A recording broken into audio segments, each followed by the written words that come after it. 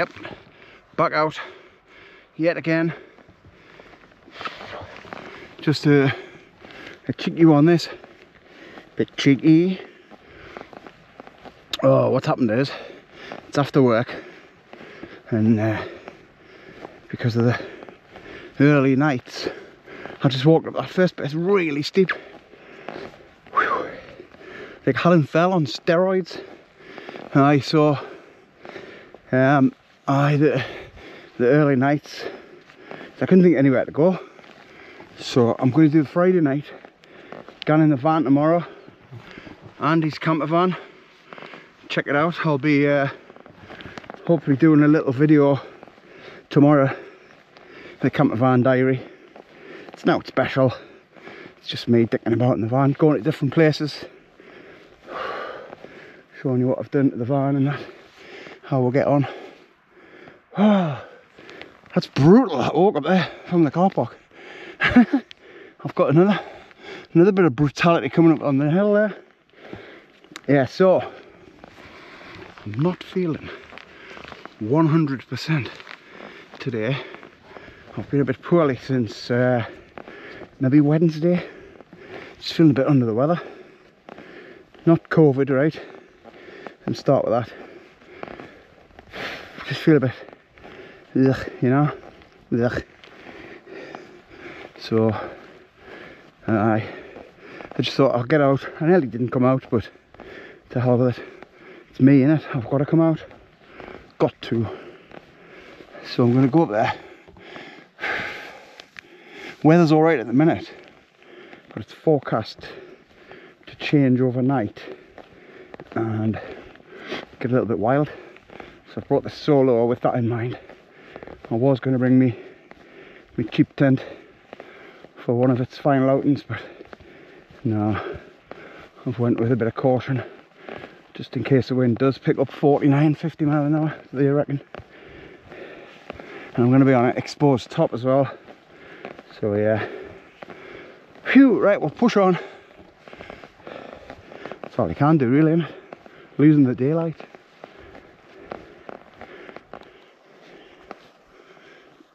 So, now that I've got my breath back, I'm to go up there. That steep bit of death.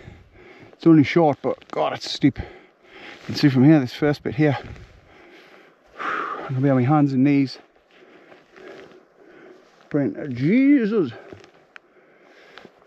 Could be worse. Could be over there, look at that, with the cloud on it. I think that's the, the back of the Cheviot. With Breydon Crags to the right, the little stony outcrop, or whatever you want to call it. The stony top. Anyway, enough jibber jabber, I'm losing light. Oh man. So we've done the, the steepness of doom. Whew. I'm getting fitter like. Not as knackered as I was last week. That's the top. And this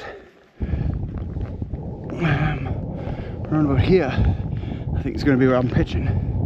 Nice flat bit there, it? Oh yeah. Oh yes. Oh yes. This'll do me. So you got good views. There's the Schil in the distance. All these. I'm not uh, quite familiar with these ones yet. I think we've camped, camped on a couple of. That one there especially looks familiar. Maybe that one when I got chased by the cows. It could be that one. But uh, that's Braden Crags over there, the Cheviot. West of Tawes. Camped there in a real wild, freezing cold night. Easter Tawes, camped there. Yeavering Bell, camped there. The moon, camped there. The sun, camped on the sun. I did, I really did. It was a nice warm night. this is another one of those um, Roman forts that was made out of bronze in the um, Stone Age. It goes all the way around like, see there's more stone here. Uh, made out of bronze. So if you get these, these well they look like rocks, but if you scrape the, the surface, it's bronze underneath. Trick is nobody can carry them down because they're so heavy. Anyway, I'm going to stop waffling. Um, there's another hill over there which I camped on. I don't know if it's that one there or that one up there. I don't know, I can't remember. It was a while ago. Anyway, I'm going to pitch my tent because I have to work out where the southeasterly wind is coming from. Southeasterly wind obviously comes from the southeast, but which way is southeast? That's the west. That'll the south, southeast. Is that way, isn't it? So I'll have the back of the tent there. And that should be alright for the morning because the forecast is for it to change. It's coming westerly at the minute, which it is, albeit it's just a breeze. But it's supposed to get heavy, wild 40 odd mile an hour wind from the southeast, so that's the pitching position. Let's get on with it. Look at look at the sweat. Sweating on. That's the problem with me when I'm on my own, I walk too quick. If I'm with somebody else, I pace myself a bit better. I always end up sweating and out of breath. Learn to pace yourself. Here we go, we're in dim light conditions. Phew, it's quite, uh, it's still quite light out of the camera. This light is doing me head in like. Anyway, tense up. There we go. Nice flat pitch that, lovely and flat. It's perfect. So That's the flattest I've had it in a long time. Delta pegs in, delta's in. It's pointing southeast is there, got the compass out. So that wind is going to hit it there, straight on the back, which is fine.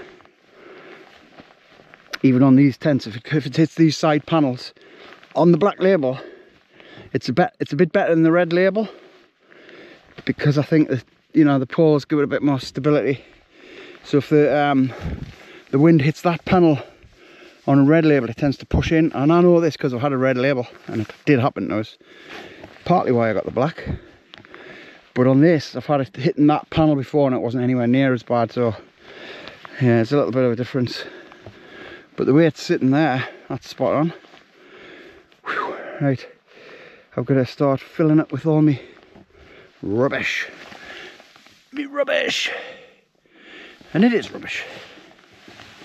Me winter, me winter rubbish. Uh, here we are. I've got to show you this.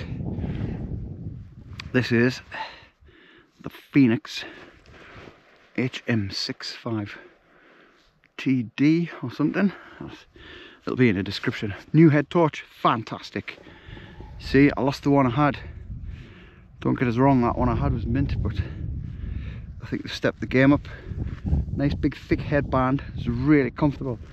There's a thing on the back there, which you turn, you get you get it so like, you know, so it's adjustable and then you turn that and it tightens it up for you. Little, the little wheel, I don't know if you've seen that. But the simplicity of this is what makes it the best. It's got a, a USB-C rechargeable battery in it, so you just plug it in. You don't need to take the battery out. So you switch it on. It's got a white light. That's one, two, three brightness. Heck of a beam on it. Look at the beam. That throws that beam quite far. I'll give you the facts later on. I've got them written down somewhere. Right and it goes back down to the, the low beam, middle, high, high. It's a trail running head torch, but as far as I'm concerned, it's ideal for uh, camping. And they've got this warm white light as well, which is really nice in the tent. It's not too harsh, you know. I'll just put that light off. There's a nice warm white light, so you've got three settings on that as well. I mean, look at that. That's not a harsh light that's a nice but then you can have the uh, the other one on as well. So you've got all the light in the world. Look at that man. So you've got two two beams either side. You can have both on at the same time. Or just one or you know one two three.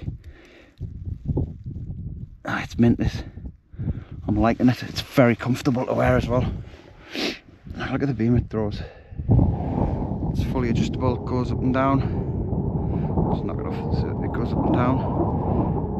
And the adjuster. So you can point it down, point it up. There's one thing I don't actually I think could be better. They've got that like bridge bit over the, the two buttons there and that gets in the way if it's all the way back.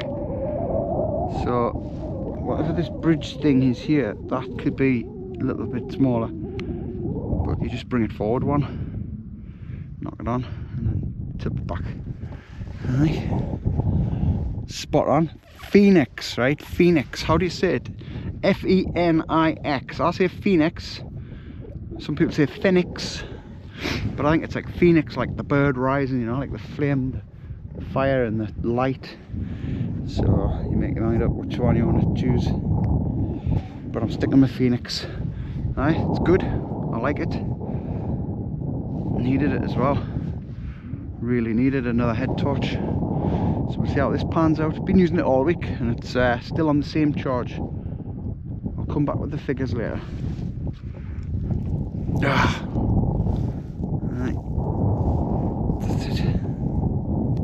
just another little look at it see it's got that you turn it like that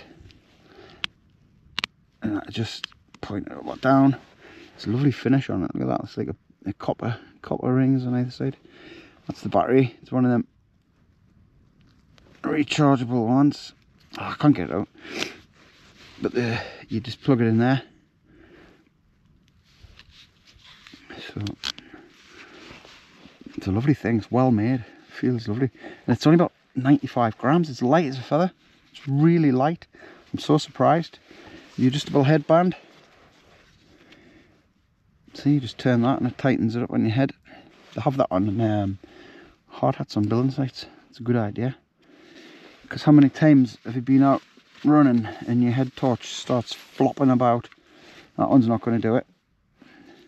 It's nice, man. It's vented nice, so you can sweat. It's like, it's got holes in it. I'm very impressed with that up to now. We will hopefully get a lot more use out of that. I won't lose it. HM65RDT. That's the model.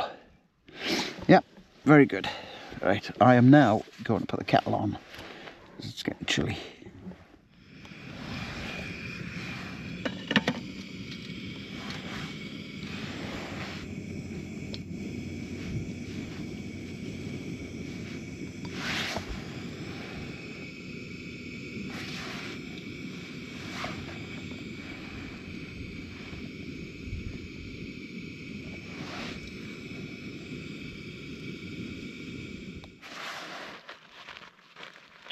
Couple of uh, see on hold it on and then tap tap tap low medium bright and hold press and hold off.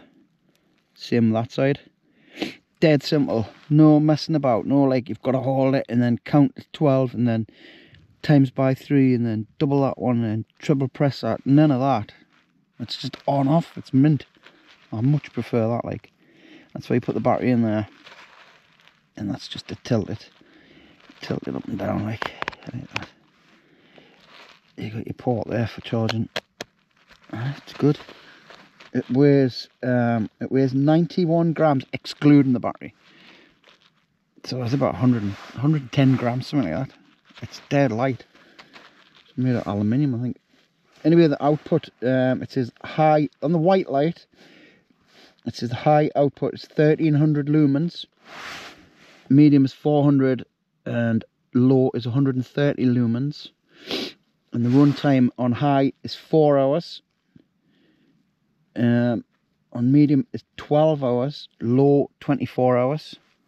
So that'll on low that'll run 24 hours, which is mad. Distance of the beam throws 170 meters um, medium 96 meters, like 96 meter throw. Imagine a 100 meter running track. That's on low. And uh, no, that's on medium, sorry. Low is 55 meters. Um, the warm white light is 400 lumens high. Uh, it burns for 12 hours. So you can just have it on the high all night. That'll throw a beam at 92 meters. Medium's 130 lumens, 24 hours. If you have it on low, on the white light, there, the warm white light, low is 5 lumens. I mean, that is low. But it will run for 300 hours. 300 hours. That's about six months. And it'll throw a beam nine meters as well on that. God. I mean, that's that's amazing. It is submersible IP68, right? I think means it can go um, down to oh, what is it? It's 30 meters or something for no, th three meters for 30 minutes. So it can go underwater, but only for 30 minutes. I'll bring it out after that. Um, but if you're running in the rain, that's not gonna it's not gonna affect that in any way, shape or form. So that's good. That like you get the you get the headlight, the battery inside, the USB charging cable. There's a spare O-ring for the um for the battery, keep the water out. And you get the manual and a warranty card. But oh, I like it. I like it. And it's light as well. Doesn't feel like a big clunky thing on your head, you know. The Fenix or Phoenix HM65RDT. Now it's not cheap, but my code Andy10 will get you 10% off. And I think you get 10% off any any light in the range, the whole range. Go and have a look on the website. I'll put the links in the description. But I'm absolutely loving that, like, and it definitely, I said it a few videos ago, I definitely needed a new head torch. So hopefully this is the one. I will keep coming back. I'll keep using it and we'll see how it performs there. See if I can break it. I hope I don't break it. Also, I've got, um, oh god, it's getting really cold now, the temperature's dropping. A couple of tips for keeping warm in the, the cold, right? So I came up, I walked up in a t-shirt and my waterproof coat. Waterproof and windproof, right? So the trick is keep the wind off you. So if there's any wind, it's best to have like a windproof, either a layer, you know, or a, or a coat. And that keeps the wind off. The wind is the killer. It really is.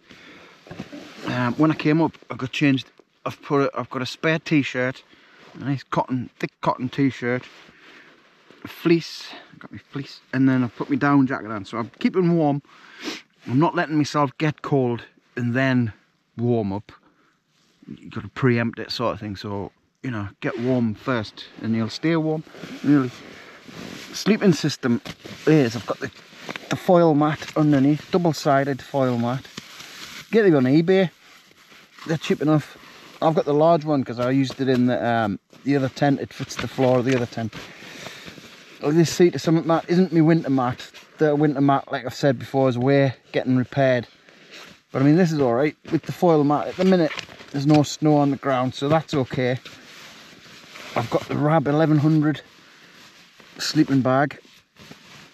I've brought the 1100 out because I was a little bit chilly in the 900.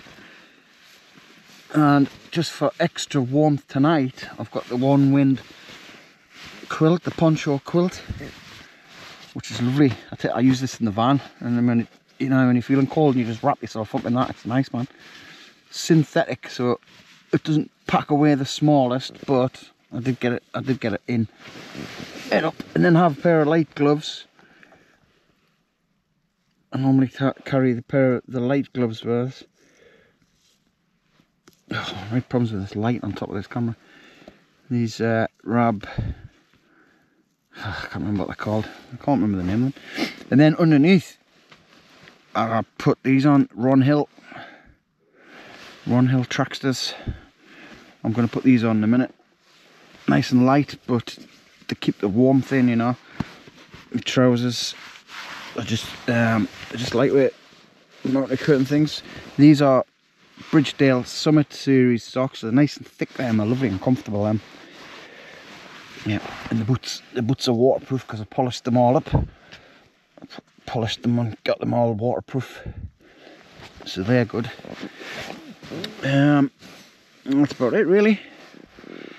And then drink loads of cold beer and ruin everything. No, get something to eat inside, you know, get something hot. I'm going to cook my tea shortly. I know it's, it's a bit early, but I'm going to do it. Just that'll warm us up.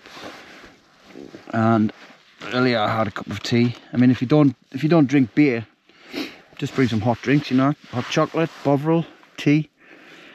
That's it. And if you get really cold, put your stove on and just warm up over the stove. So hopefully there's a few little tips in there that people can take away with them. This this quilt's great though. I just wish it went a bit smaller. Packs, packs really big, but you know, I do get it in the bag. Right, I'm gonna get the tea on, so get on with that. Oh yeah, I brought the extreme gas as well. That goes down to minus 27, that gas. Hopefully it won't be that tonight. God, this is like a camping video. I'm gonna have to start being stupid. What's going on? Right, I'm about to start cooking my tea. in my quilt. The one wind poncho quilt. I've warmed up already. Oh, it's nice this like. Why have I not used this before? You can tie it up round you. I'm in the middle of it. Poncho. Yeah, it's good. Right, so we're gonna get the uh, the old oh the old burgers on. Burgers are back. I can't be bothered to think anything else really. Um, brioche buns bit posh bit of sliced extra pilgrim's choice that's it. Just on my second can. Radio's on. Vernon Kay from Bolton did uh, he did a, a ultra marathon for children in need he said he, he did 150 miles over four four days or five days, and he's raised four million pound. My God, four million pound. That's amazing. I think that's a, a record for one of them challenges. Anyway, French's to go with the burgers. Very nice. So we'll get these on. Hopefully they'll warm us up. I can feel it now. The Kestrel's only saying it's like three degrees. It's less than that, like. There's no frost arrived yet.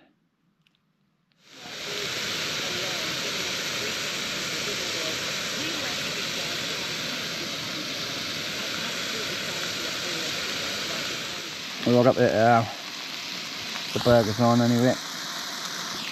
There they are. I caught them a little bit there on the pan. People have been asking about the stove.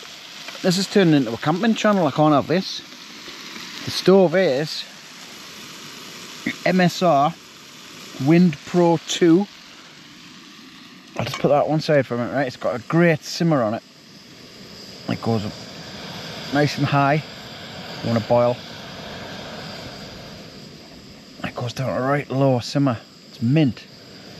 The beauty of it is, you know, you can invert the can, you can turn the can over.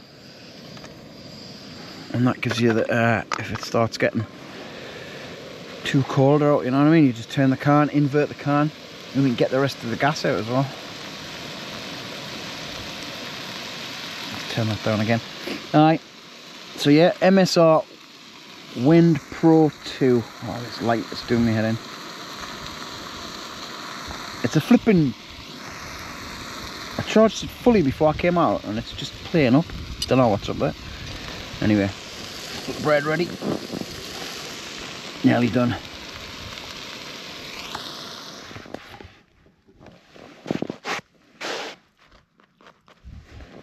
Very nice.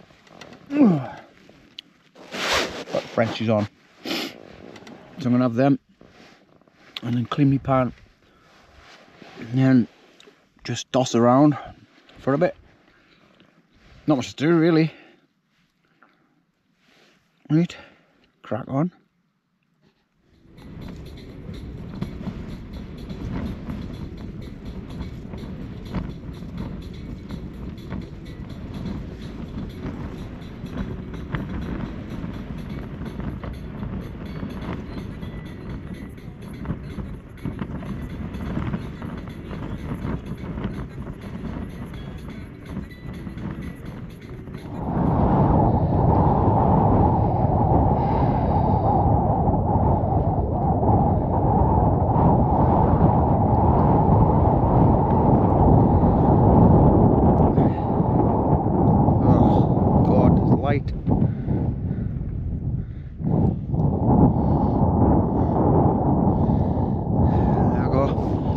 Blowing a gale.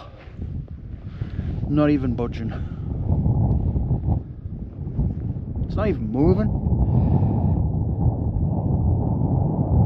Wind's coming and going like.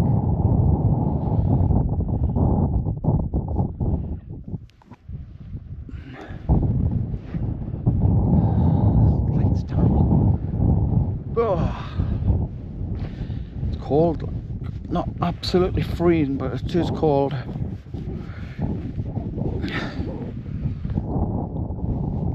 what am I doing? What am I doing?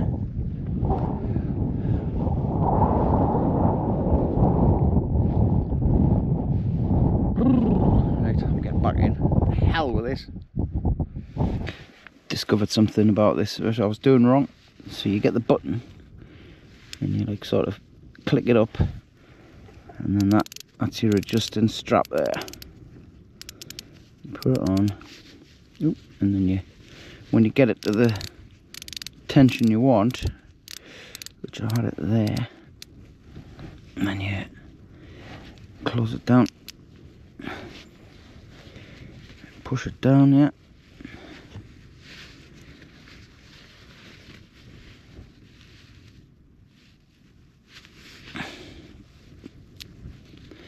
And then it's it's the right tightness for you. So you pull it out, loosen it off or tighten it and then click it back shut. Yes, that's that makes more sense. You discover things all the time. As you use it, you discover more and more about them. Just keep using it.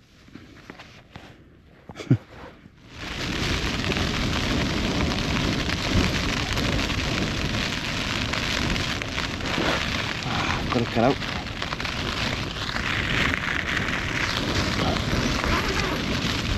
I've got to go out there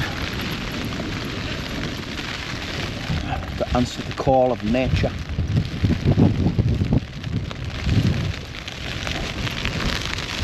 I'm not looking forward to it. Oh no.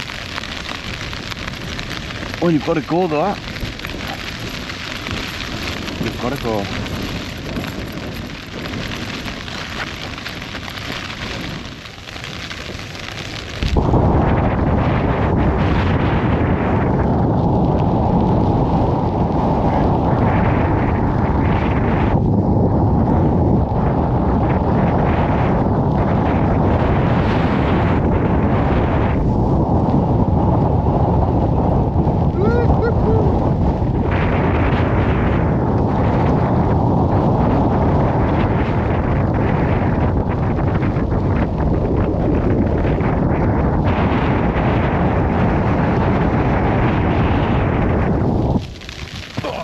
hell, hell with that.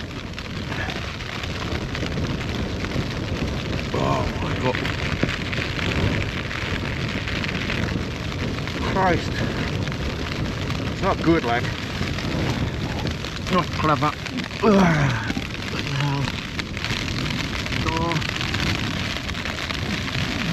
Come on.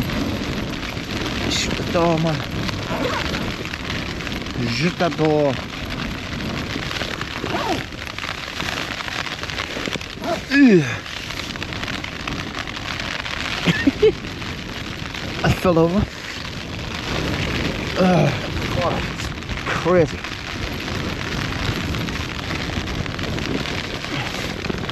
Chuck them down. All the way down. There you go. And get back in my nest. Oh. Well, that's the storm that was coming anyway. It's arrived. Oh, God. Try and get some more sleep.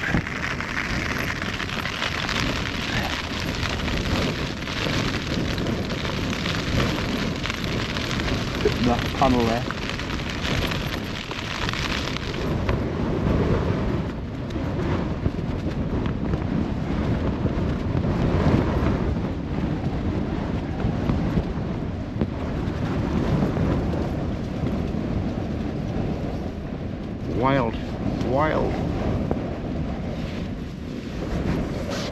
some sleep. This town's just taking this in its stride like.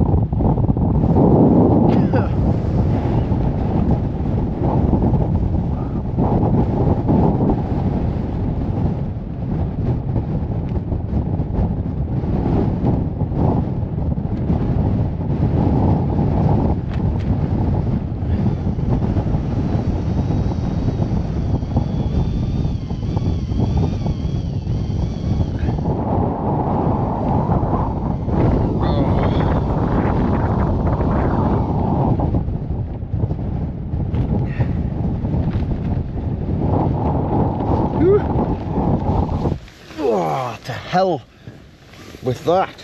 25 mile an hour. 25 mile an hour gust. Last night was about 45. It just got wild. Anyway, morning fans of people who like watch camping videos for inexplicable reasons. You just like to watch me suffer, don't you? Anyway, I had a good lie in, like, but I was up through the night with the wind, not from the, not that wind, that wind out there. Oh, it was nuts. It got wild. It rained as well, quite heavy, but that seems to be off. Ooh, ta to you. Alright, just poke out, have a look. Safe in here. This tent never moved, man. It never moved. This is the big panel, right? On the red label, that comes right in. That comes to about here on the red labels. And I know, because I've had one, on this, that's about it. That's where it was coming in. And the wind was, it's directly on that, like hitting that. I miscalculated the wind. It's supposed to be like coming, hitting the back of there. But it's coming that way. That doesn't matter. Doesn't matter. I've survived anyway. It's a nice clear day. A good day for walking actually. Oh, as long as the rain keeps off. But it is forecast to come back, the rain. Look at the Cheviot man. You can't see. That's lovely. Blanket of cloud like that. Not lovely if you're in it like, but nice to look at from here. Now I'm going to get the kettle on and then make like a tree and get out of here. So I'm going to use the old pot of dreams. Oh, dear. Ow. And then uh, that's it, I'll clear up and put everything away, just shove it all in the bag. And then it's off to the van. Oh, the lovely van. Oh, my lovely van. Here we go got the stove on. Three in yin. Oh, oh that's brutal. Brutal. Um just recording uh, 30 mile an hour constant wind 30 miles an hour. So you know everybody who's like oh I was in 70 mile an hour winds you weren't you weren't. I was in 70 mile an hour winds in me Lanshan 1 no you weren't you're probably in 30 mile an hour winds. And I don't care what anybody says, right? 70 mile an hour winds, I'd be bailing out, even in this. So, with that being said, I'm sat here now, boiling the water for me on the old volcano. And then we're gonna uh, start packing away and I'm get away so that's it right well I've packed my bag and tidied up. Everything's away nice and neat. However rain's arrived. Look at it man. Look at it. Oh, I'm gonna get drenched here. But you know that's what you're doing it. It's a soggy, rainy camp. So what I'm going to do is, I'm going to say draw now because I want to put the camera away because this uh, the hand grip is, isn't waterproof. I don't want to get it drenched. So, not sure what I'm doing next week. Uh, might be out, might have a week off. Depends how I feel. Feel a little bit better today, but still, you know. Oh, listen to that, man. It's getting worse. It's supposed to be passing. Um, yeah, so I'll do a van video from today of me midday out in the van. That'll be on the other channel. Check out Instagram. It's all just my name. I don't have a fancy name. Like the wild camping wet wanderer of the west. Just Andy Wardle.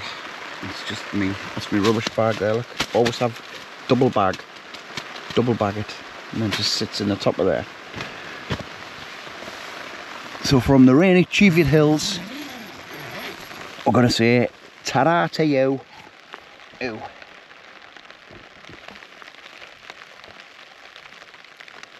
I've come back, breaking down the tent. The rain has gone that away. You can see it in the valley there. Just a shower. Look at this. The wind is gone. it's bizarre what's happened. It's really strange. Look at that. Had to come back for this like. There's a little breeze picking up, it's totally the different direction. But that is strange, very strange. Eerie atmosphere almost. But stunning, look at it.